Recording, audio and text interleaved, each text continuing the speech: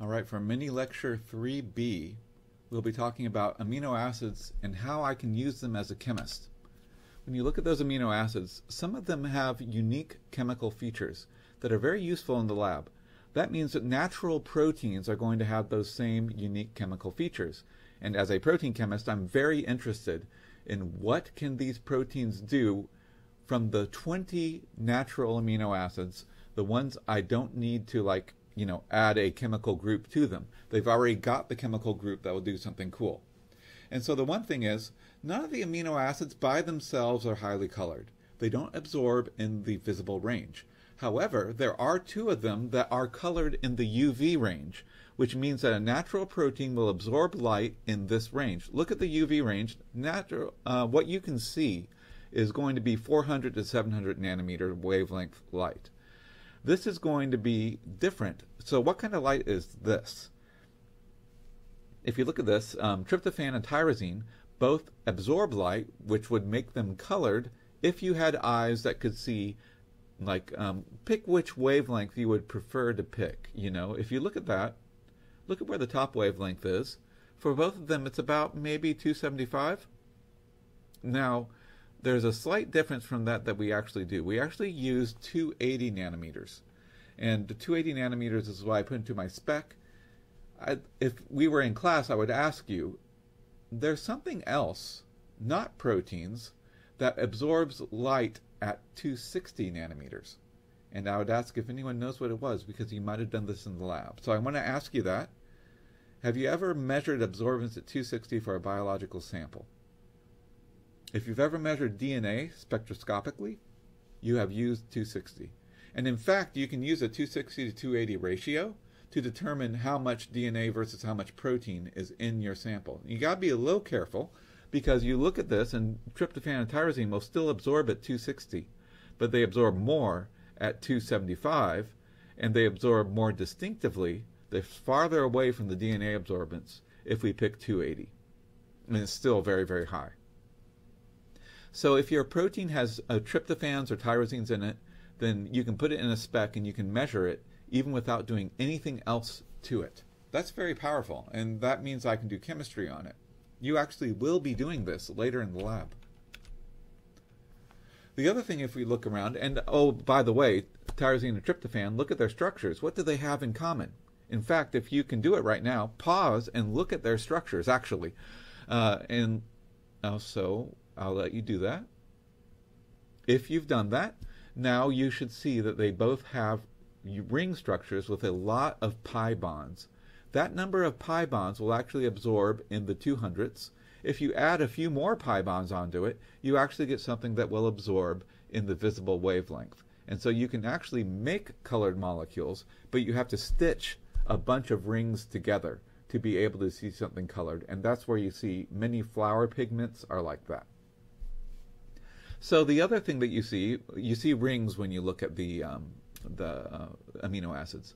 You can also see that the cysteine is something uh, distinctive. If you look at methionine, methionine also has sulfur, but that's a sulfur with a methyl group on it. That's not going to do much of anything besides be larger, be a larger atom, and be its electrons are a little more polarizable because it's larger. Uh, but cysteine, on the other hand, has a thiol group. It has a distinctive functional group that can do distinctive chemistry.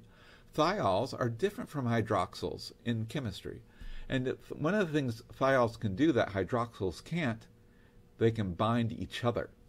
This is really cool. This means if I have two cysteines in a protein, that they can actually form a covalent bond. It's a weak covalent bond, but it's strong enough to be officially called a covalent bond stronger than a mere hydrogen bond. And what happens is that you re remove two electrons and two protons because you have to balance the charge. Once those electrons are removed, the electrons that remain form a covalent bond between the sulfurs. Now, what is this called? You're removing electrons from something, and there's a term for that. Let me give you a hint. When you're adding electrons to it, electrons have negative charge. So in a sense, you're adding negative charge to it. That means you are reducing it. So the direction going to the left and breaking the cysteine-cysteine bond is going to be a reduction. What's the thing that's paired with reduction if you're going the other way, if you're taking electrons away rather than adding them? It's oxidation. And so removing electrons is oxidation, and removing hydrogens is actually also oxidation as well because you are removing the hydrogens and you're promoting a bond between two oxygen like atoms.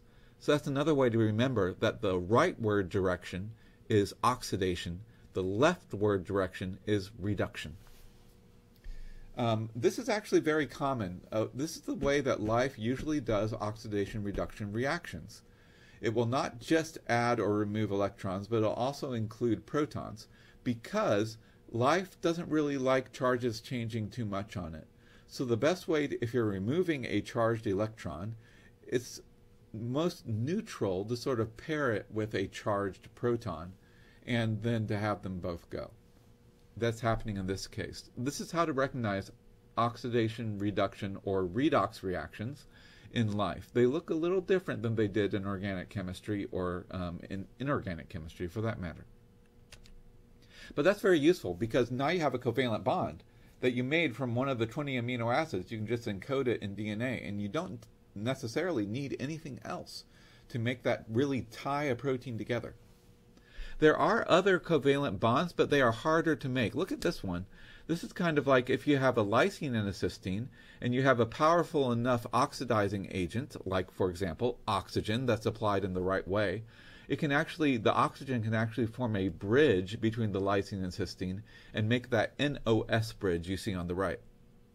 If you reduce it, you can break that bond. So it's the same idea. Oxidizing produces the bond, reducing breaks the bond.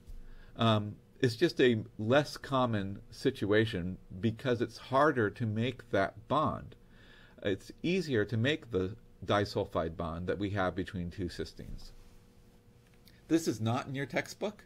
This is not common enough to be in a textbook, but I want you to see what the principle is because covalent bonds, chemists love to make them because they last, right?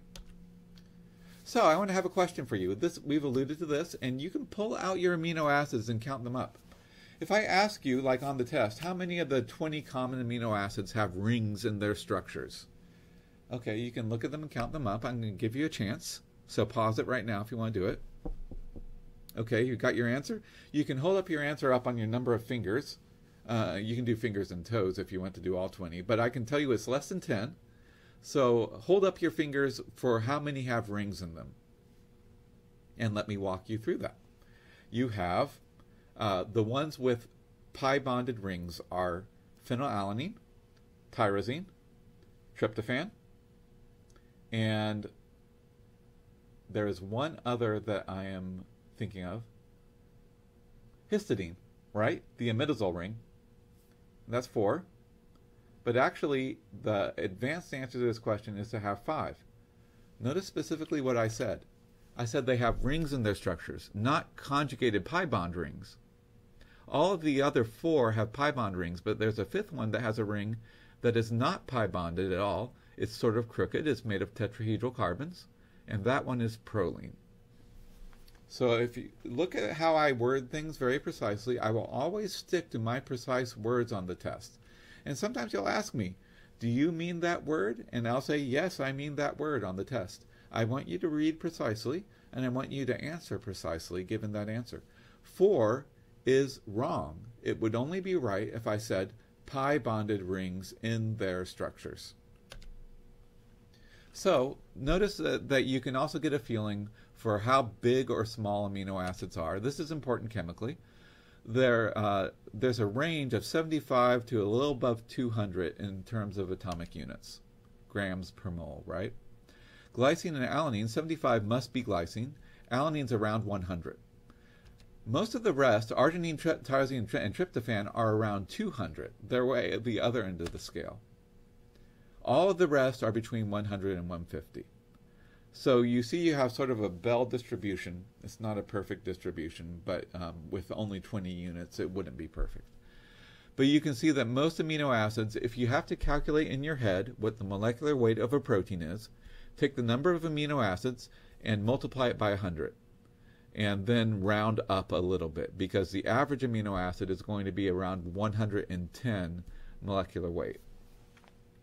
That's accounting for the distribution because some of the, um, and a, a, real fast version of calculating that would be just taking 400 amino acids times 100 would be a 40,000 molecular weight protein. It would really be around uh, 4,400, 44,000 because we should be multiplying it by 110. But uh, you can be as precise as you need to be, and I'll always signal what level of precision I'm looking for. And that is how chemists will use amino acids. We have one more topic, and that's how we name amino acids coming up next.